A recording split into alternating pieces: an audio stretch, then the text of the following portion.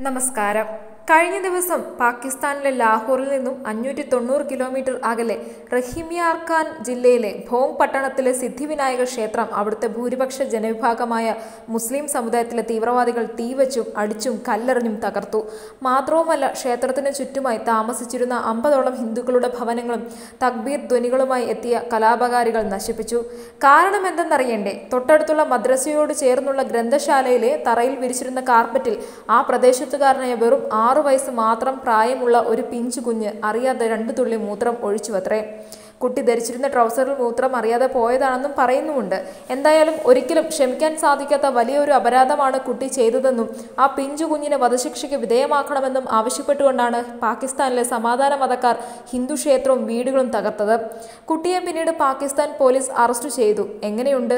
ഇത് പറയാൻ കാരണം അതിക്രൂരമായ കുറ്റകൃത്യങ്ങൾ ചെയ്തതിന് സ്വന്തം നാട്ടുകാർ തന്നെ പടിയടിച്ച് പിണ്ണം വെച്ച റോഹിൻഗ്യൻ മുസ്ലിങ്ങൾക്ക് വേണ്ടി ചാനൽ വാർത്തകളിലെ പ്രധാന തലക്കെട്ടുകളും പ്രൈം ടൈമിലെ ചർച്ച സമയങ്ങളും മാറ്റിവെച്ച ഇവിടുത്തെ മാമാമാധ്യമങ്ങളും സാംസ്കാരിക നായകന്മാരും സമാധാന മതക്കാരുടെ ഈ ശാന്തി വാർത്തകളൊന്നും ഇതുവരെ കണ്ടിട്ടില്ല. മുസ്ലിം ലോക രാജ്യങ്ങളിൽ നിന്നും റമദാൻ വേളയിൽ അതിഭീമമായ സക്കാത്ത് പണം ലഭിക്കാൻ ഗ്യാസയിലേക്ക് റോക്കറ്റ് വിടുന്ന മുസ്ലിം ഭീകര സംഘടനകൾക്ക് ഐക്യദാർഢ്യം പ്രകടിപ്പിക്കുവാൻ മത്സരിക്കുന്ന അവരെ തീവ്രവാദികൾ എന്ന് പറയുവാൻ പോലും പേടിക്കുന്ന ഇവിടുത്തെ നവംസക രാഷ്ട്രീയ നേതാക്കൾക്കും ഹിന്ദു ദേവാലയം തകർത്തതിനെക്കുറിച്ച് പറയുവാൻ നാവനങ്ങുന്നില്ല. കാരണം പറഞ്ഞുപോയാൽ മതേതരത്വം തകർന്നുവെങ്കിലോ? അല്ലേ? പക്ഷെ ഞങ്ങൾക്ക് ഭയമില്ല.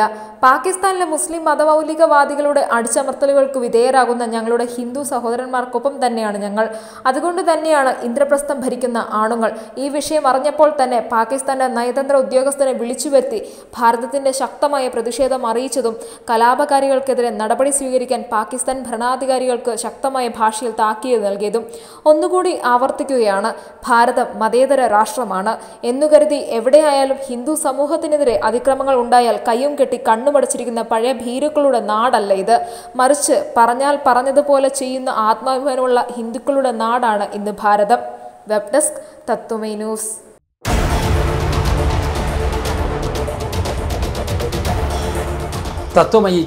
ഞാൻ എല്ലാ പിന്നിലുള്ള എന്റെ ഏറ്റവും അടുത്ത എനിക്ക് അദ്ദേഹത്തെക്കുറിച്ച് വലിയ രാജേഷ് റെക്കോർഡുകൾ ഉണ്ടാക്കിയിട്ടുള്ള വ്യക്തിയാണ് എന്നെനിക്കറിയാം. കേരളത്തിൽ ഏക ഏറെ ശ്രദ്ധിക്കപ്പെടുന്ന നിരവധി റിപ്പോർട്ടിങ്ങിൽ അദ്ദേഹം മുൻപന്തിയിലുണ്ടായിരുന്നു. അദ്ദേഹത്തിന്റെ എല്ലാ ടാലന്റും ഇതിനകത്തുണ്ടാകും എന്ന് ഞാൻ പ്രതീക്ഷിക്കുന്നു. ശ്രീ രാജേഷ് പിള്ളയുടെ വിദഗ്ധമായ കരങ്ങളിൽ ഓൺലൈൻ പ്രോഗ്രാം വളരെ നന്നാകും എന്ന് ഞാൻ പ്രതീക്ഷിക്കുകയാണ്.